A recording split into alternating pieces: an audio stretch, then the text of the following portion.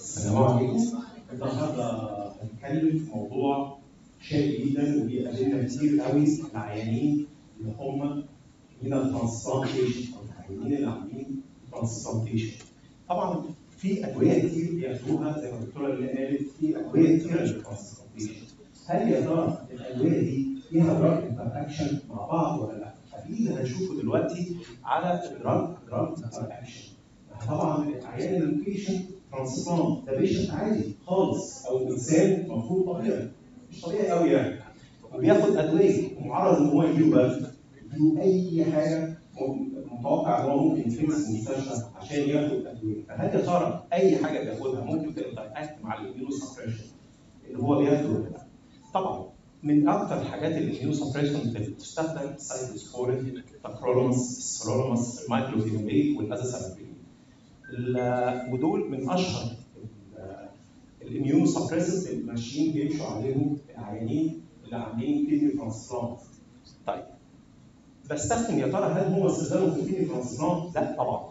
ممكن أستخدمهم في ال transplant rejection prophylaxis ممكن أستخدمهم في ال autoimmune الأمراض المناعية زي الناس اللي عندهم rheumatoid وال psoriasis واللي عندهم systemic lupus أو الذئبة الحمراء والناس اللي عندهم طبعا في ال kidney عندهم nephrotic syndrome أو في ال kidney اللي عندهم ulcerative colitis. طب ليه لازم أعمل لأي drug من المفروض أعمل أي drug من ال immune لازم أعمل لهم monitoring for immunosuppression ليه بقى؟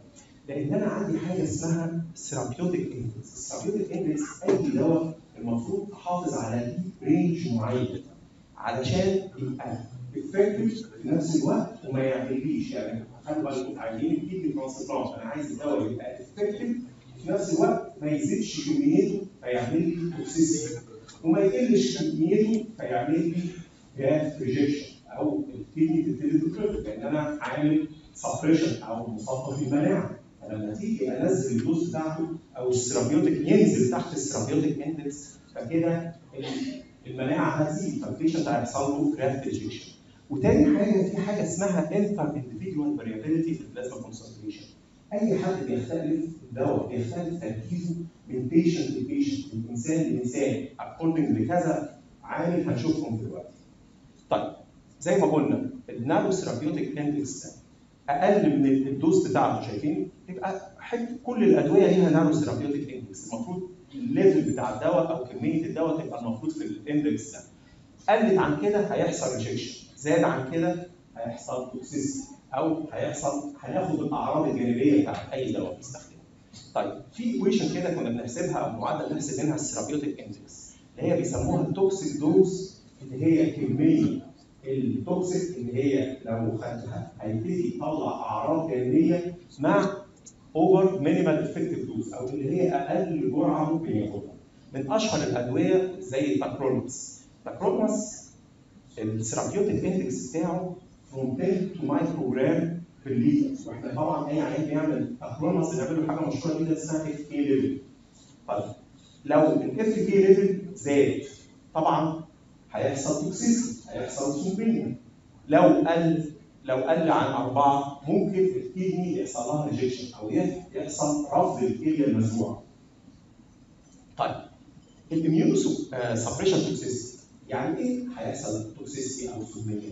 هيحصل يا إما over immunosuppression يا إما العيال كلها دي immunosuppression medications يا إما ال patient هيحصل له infection طبعا معرض إن هو يجي له أي infection ومن أشهر الحاجات اللي بتجي لنا في ال renal transplant ال CD infection أو ممكن يجي له urinary tract infection أو يحصل drug specific adverse reaction كل دواء من ال immunosuppression ليه أعراض لو زاد عنها ممكن في إيه؟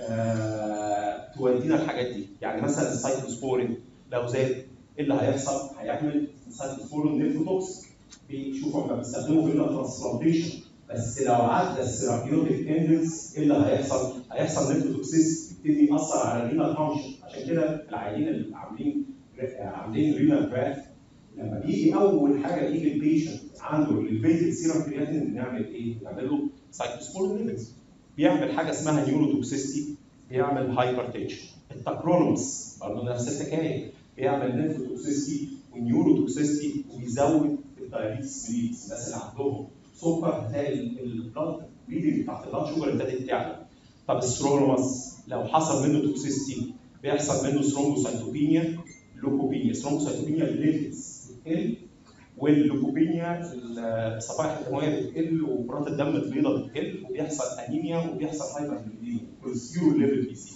طبعا ال MMF لما بيزيد اللي هو ال mycophenolate mofetil بيحصل GIT toxicity ودي من اشهر الحاجات بتاعته. يعني في patient ما بيقدروش يستوعبوا أو ال GIT upset أو بيحصل لهم GIT disturbance أو أنيميا وطبعا الأنيميا دي مهمة جدا في العيانين اللي بياخدوا MMF أو neutropenia أو ال azathioprine بيحصل لهم ممكن منه يحصل lymphoma و pancreatitis أو ممكن يحصل برضه leukopenia.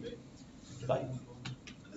إيه ال factors؟ في كذا factor. لو أنا عندي drug في كذا factor بي affect ال inter individual variability زي ما قلنا ال patient كل عيان زي بعضه في حاجات بتختلف. إيه بقى؟ ال age بتاع ال patient طبعا هيختلف من drug ل drug آه طبعا ال drugs نفسها ال drugs اللي بياخدها ال patient سواء antihypertensive drugs antimicrobial لو جاله نزل دم ال diet نفسه هنشوف ال diet ممكن يغير في تأثير الدواء ال body weight بتاع ال patient لأن في أدوية بتاثر ال body weight. ال disease نفسه يعني ال disease بتاع ال patient لو عنده diabetes لو إحنا قلنا في أدوية أو السكر بتاعهم بيزيد الجندر الميل والفيميل والجينيتكس طبعا في genetics بتبقى موجوده أو بيسموها قابليه لل patient نفسه على تاثير في ال drug level نفسه وال race سواء بقى ال Asians غير ال black race بيبقى ليهم آه مختلف آه في ال drug effect طب إحنا طبعا هنا هنتكلم على اللي إحنا جايين نتكلم عليه drug drug interaction طبعا من 3 to 5% preventable adverse reaction ال immunosuppressant طب إيه اللي بيحصل؟ بيحصل drug interaction يعني الادويه تتفاعل مع بعضها يعني إحنا ندي immunosuppression يتفاعل مع immunosuppression أو immunosuppression يتفاعل مع أدوية ثانية لأن أغلبية ال patient اللي بيبقوا ماشيين على آه عاملين renal transplant بيبقوا ماشيين على 1 or 2 at least 2 drugs من عاملين immunosuppression ال immunosuppression بتتفاعل مع بعضها. وال immunosuppression بتتفاعل مع ال other drugs طيب إيه بقى ال common medications taken by transplant patient أي transplant patient إيه ال common medication إيه الأدوية اللي ممكن ياخدها؟ طبعا بياخد ال immunosuppressant بتاعته ال anti antimicrobials عادي معرض ممكن يجيله infection ممكن ياخد أي antimicrobial anti ulcer medication PPIs لو طبعا بنعمل حاجة اسمها gastric protection لو كان في في لو في مشاكل في المعدة لو عنده ulcer كل الحاجات دي ممكن ياخد ال medication. خلي بالكم هو ال graph ده مش مش كل واحد نسبته يعني تقريبي كده هو بيقسمهم بس عليه.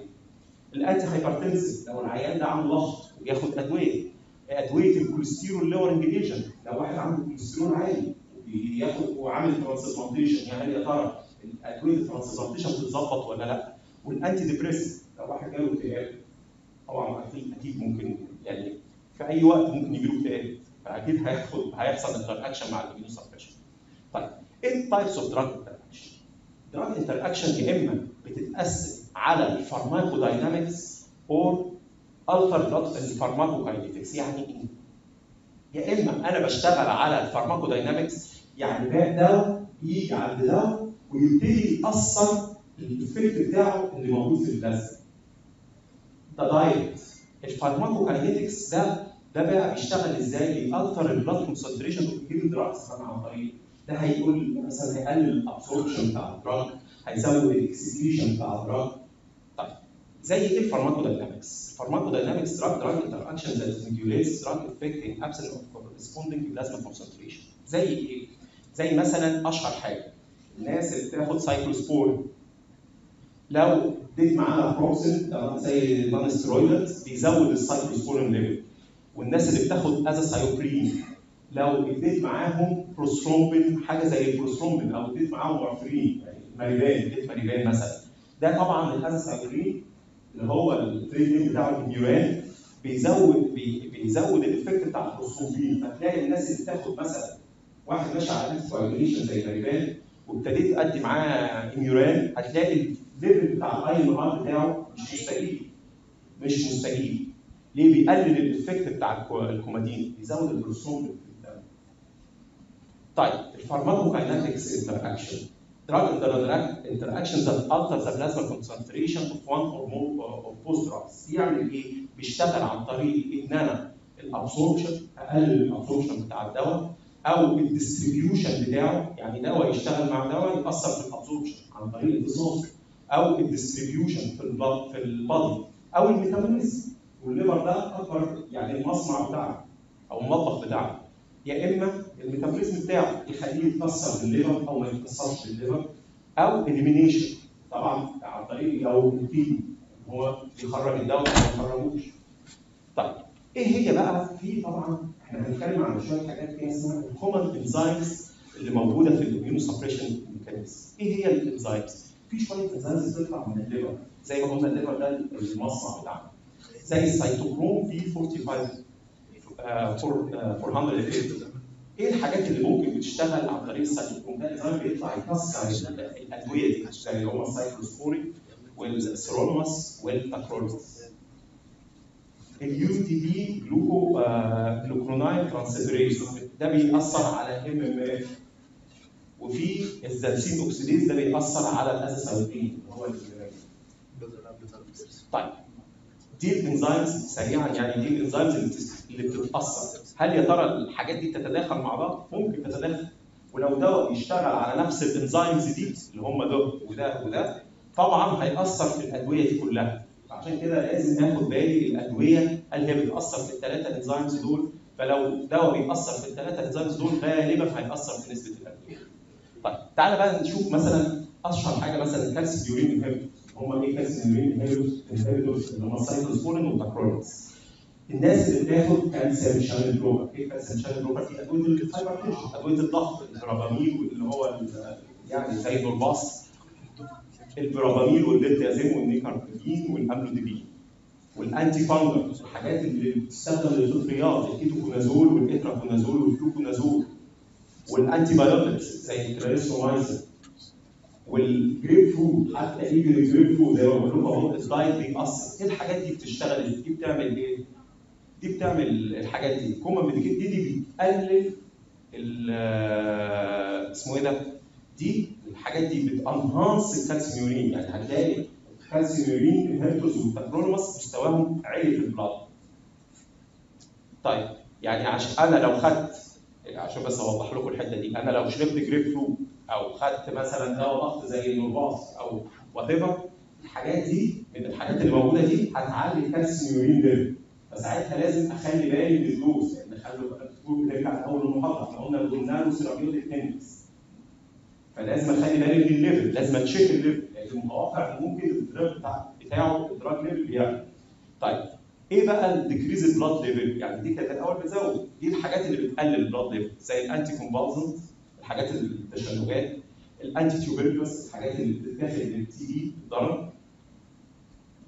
من أشهر الحاجات اللي هم ال isoniazid وال rifampicin طيب إيه ال drug interaction وال antimetabolic agent ال antimetabolic agent اللي هم الايه اللي هم ال MMF اللي هو المفروض يعني اللي هو ال CellCept أو Myfortic ال MMF أو اللي هو الثاني ال azathioprine اللي هو ال Imuran طبعا المفروض في حاجة اسمها trough level of MMF appears to be lowered by concurrent administration of cyclosporin إحنا بناخد ال patient اللي بيعملوا هنا transplant بياخدوا cyclosporin وفي نفس الوقت بياخدوا MMF أصلا ال MMF وال cyclosporin بيتفاعلوا مع بعض. و the effect is not observed في ال tacrolimus ال tacrolimus يعني الاثنين بيشتغلوا على نفس ال... في حاجات بيشتغلوا عليها نفس الإنزايم. يعني التاكرولوماس بيزود نفسه بيزود ال level بتاع ال MMF. عكس ال cyclosporin ال cyclosporin بيقلل ال level بتاع ال MMF. لدرجة إن في ناس تقول لك لو اديت آه، تاكرولوماس ممكن تزود ممكن تزود ال dose بتاع آه، sorry تقلل ال dose بتاعت ال MMF ل 50% وبعد كده يعني حتى بيقول لك الناس اللي ممكن تاخد تاكرولوماس ممكن تمشي معاها MMF 360 twice day ويكفي معاها. اللي هي equivalent ل 720 twice day في الناس اللي هم بياخدوا cyclosporin في ال patient اللي عندهم بياخدوا proton pump مهمة جدا اللي هم طبعا أشهر الحاجات ال proton pump ال pantoprazole وال omeprazole الحاجات دي طبعا يقول لك إنها تتفاعل مع ال MMF وال MMF بيعمل GIT disturbance فعشان كده لازم أستخدم ساعتها ال enteric coated اللي هو ال Myfortic طيب ال patient should avoid taking ال magnesium hydroxide الناس اللي عندهم بياخد magnesium hydroxide عشان الحموضة ال antacids since ال drug decrease ال area under دول ما خدهمش خليهم قبل الجرعة كتير ليه؟ عشان ما يأثروش على ال MMF والناس اللي بتاخد ال sevelamer ال sevelamer ده ده المفروض بي- بيقلل الفوسفورس في في ال blood المفروض برضه ما استخدموش لازم استخدمه بعد بعد ما ابتدي آخد ال MMF قبليها بساعتين ما اخدوش قبل كده عشان بيأثر لي على جرعة ال MMF طبعا ال severe leukopenia ده دواء مشهور جدا لو استخدمته مع ال azathioprine اللي هو ال allopurinol اللي هو ال Zyloric بيعمل لي severe leukopenia أو استخدمت معاه اللي هو ال Feburic. طبعا ال reduction في azathioprine dose لازم أقلل ال azathioprine لو أنا هدي ال Imuran مع Feburic طبعا هو ممنوع إن أنا أستخدمه. طب إيه هي ال common drug interaction أنا هحاول. طبعا أنا ملخص طبعا هي drug interactions كتيرة بس أنا هقول لكم أهم حاجة. طبعا في حاجات بت increase ال immunosuppressive concentration ودي بس عشان ال era الجديدة طبعا جدا اللي هي ادويه ال antivirus ادويه الفيروس C جديدة. ومن أشهر حاجة ال Qurevo وال Qurevo contraindicated contraindicated مع ال patient اللي بياخدوا إيه تاكرونس السايكلوسبورين ما, بيحصلش interaction لكن مع التاكرونوماس يضرب ال level جامد قوي فعشان كده لازم close monitor لل immunosuppression concentration طبعا دي بقيه ال drugs في drugs اللي هي إحنا حتى قلناها بتقلل ال immunosuppression وفي drugs آه بتعمل synergistic مع بعض.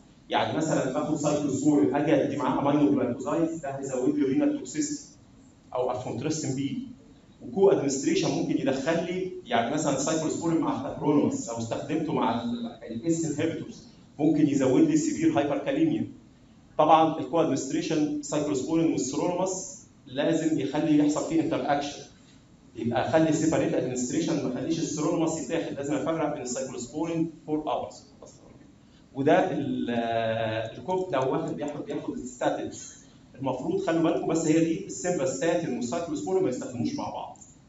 طيب إزاي بقى أول حاجة لازم أع... لازم أقرر بس عشان ألخص المحاضرة لازم قبل ما أدي أي العيان عامل renal transplantation لازم أفكر ال medication ده اللي أنا هديهوله necessary ولا لأ؟ يعني ما ياخدش أي دواء وخلاص. هل في inter يعني في هل في بدائل ولا لأ؟ آه ولو مضطر إن أنا ادي دواء لازم أخلي بالي من جرعه ال immunosuppression سواء هزودها ممكن أزودها وممكن أقللها.